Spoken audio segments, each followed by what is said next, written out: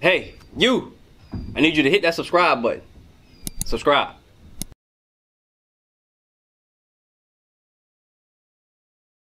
precursor to this conversation. There is no such thing as the Trinity. That is that uh, uh, somebody somewhere just made that up to feel more comfortable in with whatever lifestyle they want to live. I'm gonna show you what I mean, right? Because what do you, what what do you know already about what the Trinity doctrine is? Like, what do you what? Right, and that's called the Trinity. And what what is what does that mean? Like, what makes them the Trinity, or what's the doctrine say about the Father, the Son, and the Holy Spirit? Go to 1 John 5 and 7. I'm listening to you, brother. Uh, All right. Well, who taught? Where did you learn about that? I heard a guy speaking about it, like, John, All right. Okay.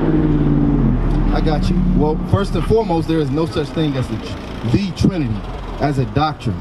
All right. Trinity just means three, right? It means series of three, right? That's all it means. But as a doctrine, it doesn't exist. All right. So watch this. This is what the Bible says about the three or the Trinity. Okay? What's your name, brother? I'm sorry. Marcus. All right, I'm Jonathan. All right. We Israel United in Christ. That's who we are. All right. And we teach our people, the blacks, Hispanics, and Native Americans, that we are the Israelites Give 'em a little according to the Bible. All right. Not any doctrine, not anybody's opinion, not anybody's feelings. According to the Bible, we are the Israelites. right. We are the chosen people of. God, the blacks, Hispanics, and Native Americans. All right? All right, Come closer, Mike. Come close. We know each other now, right? First John 5 and 7. Let's start there. Uh, That's a good series of questions that you got. You asked, what is the what is what is the Trinity, and what is the name of God? Right. That's that was your question. Well, they kind of go hand in hand, or the proper understanding of what you're referring to kind of goes hand in hand. All right. Read that. This is the book of First John, chapter 5 and verse 7. For there are three that bear record in heaven the Father, the Word, and the Holy Ghost. All right. There are three that bears record in heaven. Read that again. For there are three, Hold on. Hold on. Hold on. What'd you say? Oh, you about repeat it? Yeah. Yeah. Yeah. Watch this. for there are three that bear record in heaven. So it's three that bear record in heaven. So the Trinity teaches what? That all three of them are the same thing, right? Jesus Christ is the Father in heaven. Jesus Christ is the Holy Ghost. Jesus Christ is the Word. One of those things is correct, but they are not all one, right? And we're going to just kind of distinguish this and separate the differences between them for you real fast, all right? Read it. For there are three that bear record in heaven So three, not one, right? Three that bear record in heaven. Read. the Father, the Word, and the Holy Ghost. Now, what's the word? So it's the Father. So it's the Father, right? Who is the Father? That's God. So who is the Word? Because that was the second one. It says Father, the Word. Huh? No, no, sir. How do you know that? Sort of going in order. Huh? Like a order, like a, uh, like chain of command, that. Oh, oh, oh, okay. I, I feel like you heard us before. I feel, or heard somebody before, not us, but you heard you heard Israelites before. Y'all sisters, listen up. We talking. We this is this is for us. Okay, okay. All right. Hey, that's up to you, sister. You know what I mean? Whether our people here or forbear, it's not going to make the Christ. It's not going to make Christ uh, uh, uh, uh, uh, determinations different. So we said, okay. So who is the Word of God? Who's the Word? Jesus. Now, how do you know that? Because when somebody asks you these questions, you have to be able to teach them. And, and for them to be beyond our opinion or our feelings, we have to be able to refer to it in the Bible. Understand? We have to be able to call on it in the Bible, in the Word of God. Right? Everybody got an opinion. Right? The Bible says all counsel, all counselors extol their own counsel. Right? So that means everybody think that what they believe, think that what they're saying is good. Nobody considers the evil or the stupidity in what they're saying, right?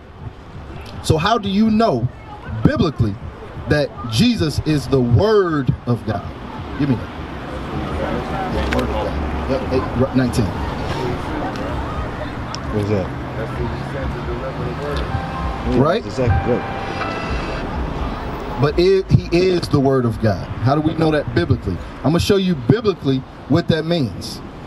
Biblically what that means. But that's that's that's that's true, and I'm gonna, I'm gonna show you biblically where it's at. But that's true what you said. But you gotta understand what you're saying, brother. Come on. The book of Revelation, chapter 19 and verse 13.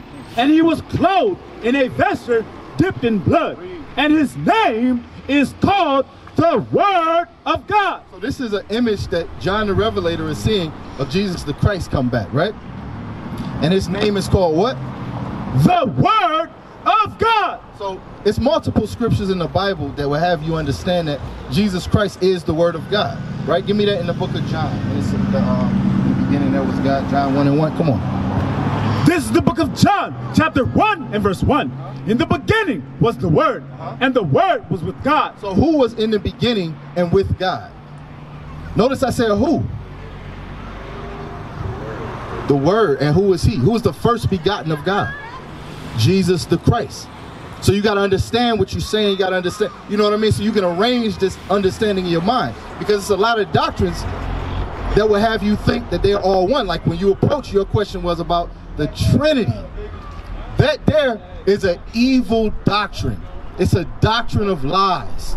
You understand? And it's somebody's opinion. It's somebody's. It's somebody. It doesn't come out of here, right? This Bible says that they are all different, and not only that, this Bible says that they are not all on the same level too. Right now, so we found out this is not a religion, brother. This is a culture. This is your culture. Before you were destroyed as a slave and called American or African or or or, or uh, Hamitic or Islamic or Christian, you were called an Israelite. Right. You had a tribe. Your name was in the Bible that we're reading about, that everybody got. Your name was in here. But now when you open the Bible, we don't find our names, do we? We find all these other strange people's names and lifestyles and cultures and histories. But guess what? That's actually your history, brother. That's actually your culture. Actually your culture, right? But but deal with deal with me. Give me a second. All right, so where we at now? We at the name of God, right? So Jesus the Christ was with God. He was the first begotten. So he is the one that was with God, right? Now we got to get on top of that. We got to understand that uh, the the Holy Ghost. Give me that in Acts. You said, remember I told you one of those things was correct that you said. What was the Holy Ghost? You said it already. You forgot it. See, you gotta, you gotta. When you rock with it, when you get it from the Bible, it, you can't lose it like that. You understand what I'm saying? I got you, bro. Check it out. Watch this. Yeah, watch this. This is the book of Acts, chapter 7 and verse 51. Ye stiff necked and uncircumcised in heart and ears, ye do always resist the Holy Ghost. So what is it that you will be taught out of the Bible that you can resist that the Lord will call you or his prop- prophets will call you stiff-necked and uncircumcised, meaning hard-headed and rebellious? What is it? Yeah, what is it that you would not be doing that this Bible teach you to do? Because he called it the Holy Ghost here, right? So how do you resist the Holy Ghost? What does that mean? How do you refuse God? His words and what? Commandments. The Holy Ghost is his commandments. So you have the Father, which is the, the creator of all things, including Christ. Then you have the Son, which is Jesus the Christ. Then you have what he taught, the Word of God, which is his commandments. So it's the, and now I'm gonna show you the difference, the hierarchy, the tier, the t- uh, tiership of that, because it's not all the same like you learn about in Christianity. It's not all the same. It's not all the same.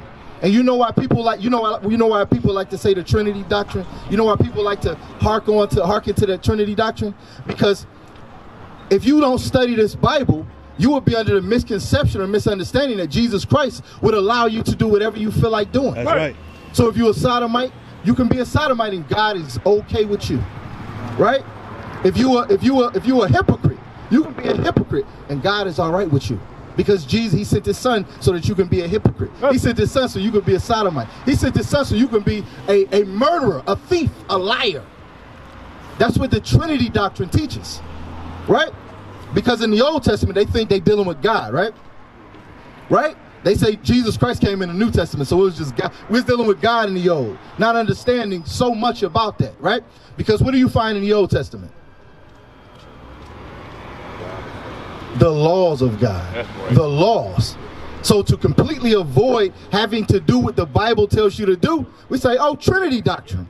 Jesus Christ came to die for us, and Jesus Christ, his Father, and what Jesus Christ taught are all one. And Jesus said, uh, uh, uh, uh, come as you are. What's some other lies? Do what thou wilt. Jesus said, uh, uh, uh, you ain't under the law. Jesus said all these things that if you're not studied up, if you haven't been taught right, correctly, you would think that you can do whatever you want to do. That's what you would think. Give me John chapter 8, verse 45. I come to do the will of my father. Let me show you something about that, bro, because we have to we have to establish the tiership, the hierarchy of that thing. That's right. So can't nobody else trick you in Christianity. Watch this. I'm gonna show you. Christ ain't come down here and do what he want to do. So if, let's say you confused and you think God is the one you dealing with in the Old Testament. He tells you, "Thou shalt not have any gods before me. Thou shalt not have any idols. Thou shalt not take my name falsely or uh, in vain. Thou shalt keep the Sabbath day. Thou shalt honor thy mother and thy father. Thou shalt not kill. Thou shalt not commit adultery. Thou shalt not steal. Thou shalt not lie. Thou shalt not covet. Let's see that. Let's say that you think that you're dealing with God there, right? Watch this. 40, what is it? Where I, I come to do, I'm only going to do the will of my father. It's somewhere in there. 40. See, see what 40 says. Is that it? Read verse 41. Yeah, 40, bro. Watch this. Listen carefully, because what are we establishing? Christ ain't tell you to do nothing but what you think God told you to do. In the Torah, the Old Testament, Christ came to deal with the Old Testament, to teach you, to command that you keep the old, well, the laws from the Old Testament. Watch this, come on. This is the book of John, chapter 8 and verse 40. But now ye seek to kill me, uh-huh. a man that have told you the truth. What's the truth? The laws of God. Right. So all Christ was telling was the laws of God. Watch this. which I have heard of God. Which he have heard of who?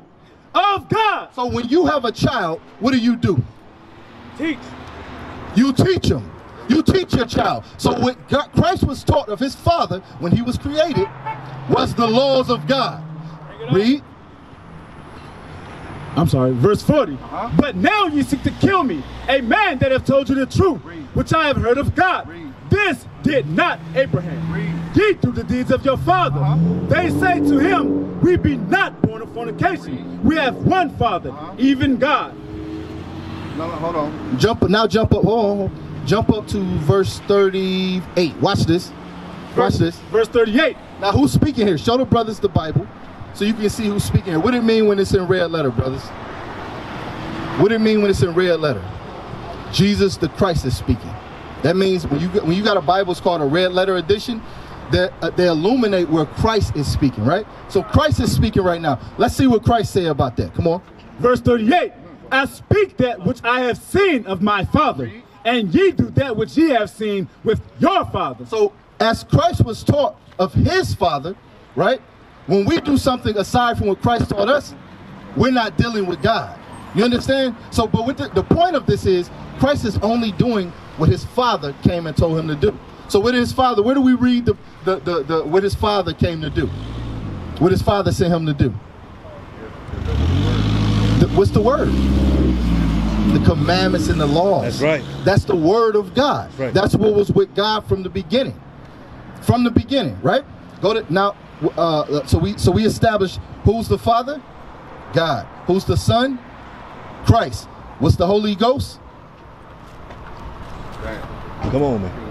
You got it. That is damn, brother. The word. What's the word? The laws and the commandments. That's right. That's the right. laws and the commandments. Now let no one else confuse you from here, brother. Right. You got the power now. Now you have the understanding of what all of this is about. We used to scream black power while heroin was pushed.